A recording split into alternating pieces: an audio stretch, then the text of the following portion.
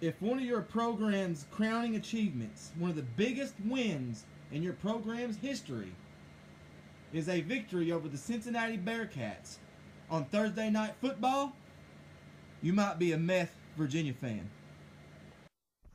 Seems like heaven, West Virginia.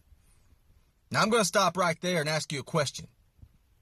Have you ever heard a statement so more untrue in the history of words than the statement that I just said?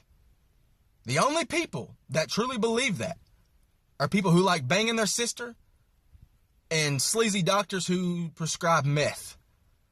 Because you are the poorest state in the United States of America, one of the dumbest states in the United States of America. You are the meth capital of the United States of America.